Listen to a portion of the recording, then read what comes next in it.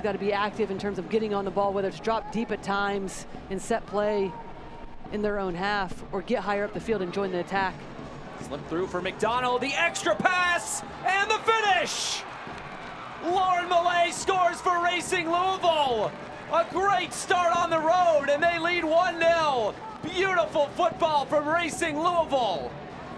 And they're able to find Kaiser. That's exactly where you want to run it at the back line. A slip ball through to Jess McDonald. And the awareness to play that ball across to Milliet, who's wide open on the far post. Just too easy. Two players in the box tracking for Gotham. Milliet wide open.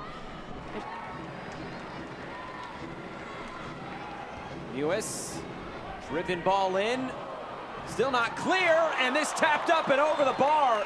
Kawasumi on the volley, and Lund was equal to it. It's a good delivery initially from Mewis, and then look at that save from Lund at the end. Here's Mewis, driven ball in, going for goal, it's pushed off the crossbar. I think catching Katie Lund out. Well, another important save from Lund because she absolutely was caught out. Kristie Mewis, well done to send it off the crossbar and out for another corner. All sent in towards the penalty spot. Again, falls for Mewis. Mewis off the crossbar! Two crossbars for Mewis. It just won't happen for Gotham as of yet. And how unlucky can you be? Is that is exact positioning for Betos to be able to cover in behind. Mewis, Mewis is in, and she puts it over the bar. Head in hands, can't believe it. What a ball over the top from Dydasco. Mewis down the line. Now the service comes in. Lund scrambling this off the top of the crossbar. Just unlucky for Gotham. Midge Purce cuts it in field. Still going herself off the crossbar.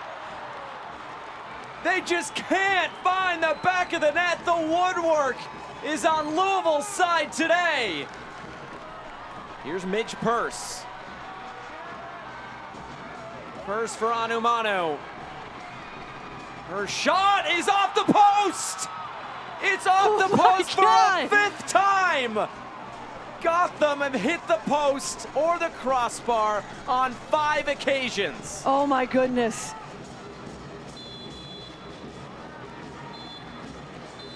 And there is the final whistle for the first time ever.